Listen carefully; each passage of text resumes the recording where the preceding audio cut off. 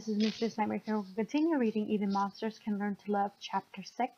Before we get started, please hit that like button, comment, subscribe to this channel if you guys want more creepypasta and fanfictions out there. Until then, let's get started. My eyes widened as the small attic room... Uh, my eyes wandered around the small attic room as the hair on the back of my neck stood up. Black like tar began seeping through from the pages of, of the book and pulling on my floor. Dropping the book in surprise as my blue eyes searched in the dark room as a jet as black tar like ooze seeped through the walls also. A type that almost looked like it would consume everything in black mass.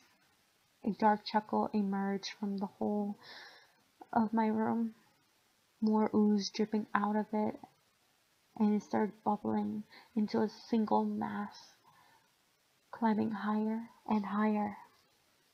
I was scared, no lie. The wood creaked below the black tar as it took shape of something with large horns sprouting out from the mass as two red eye glowing eyes and a close mouth spread below the eyes as it clawed and flexed out of from the ooze.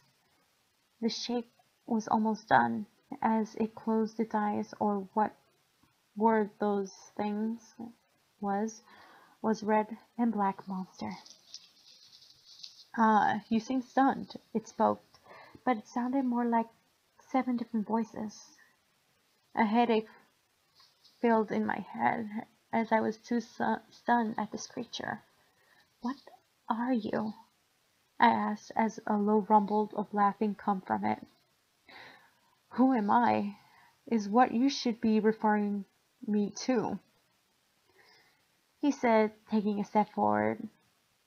And then it sparked into in me.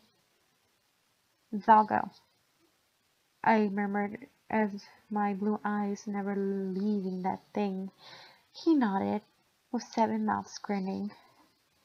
Zalgo was black, with red stripes, two mouths, and on his shoulders were four mouths, went down to his chest, a dark aura surrounding him that seemed to fill the entire room in this dark horizon.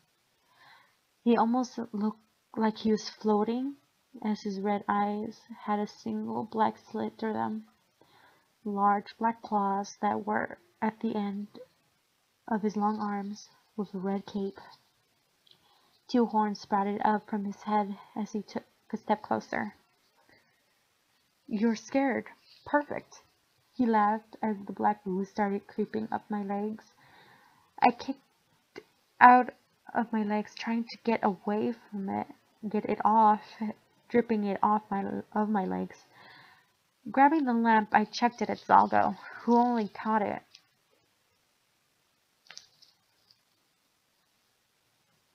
In a flash, catching it or whatever.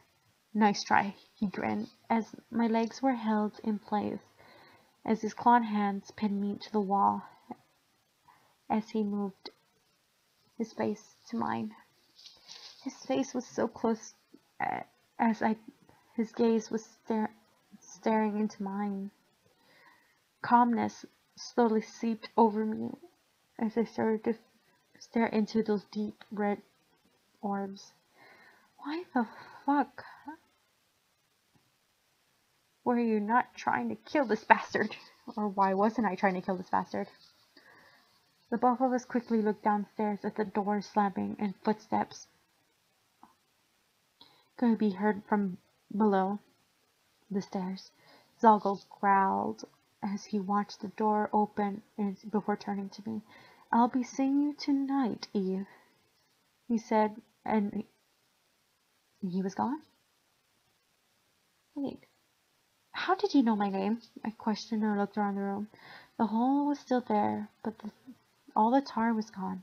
Hey, little shit, get down here, or you're go going hungry tonight. Roger yelled from downstairs. Wait. I thought he, that he already brought me food. Growling slightly, I got off my bed and ran downstairs on the floor, creaking again. Take it, Roger said, giving me some mac and cheese that looked kind of old, my face scrunched up in disgust as mold was already growing on it. Proving my point, I opened my mouth before I could say anything. He was already gone. Stupid bastard. I swear. The head and headed backstairs, seeing the expired food on my shelf and finding the same black book on my pillow with a note with red ink. Take a few steps forward and picking and picking up the small note. Stay up. You may need these in the future.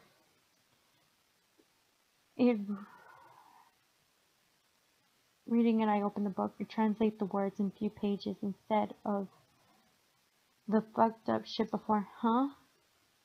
You said, I said, and read the words was something was very wrong. About reading this, it felt very right. It also made me feel that I had some sense of power, even if it's a small amount. But Zalgo's words echoed in my head as I stared in, into the book. I'll see you tonight, Eve.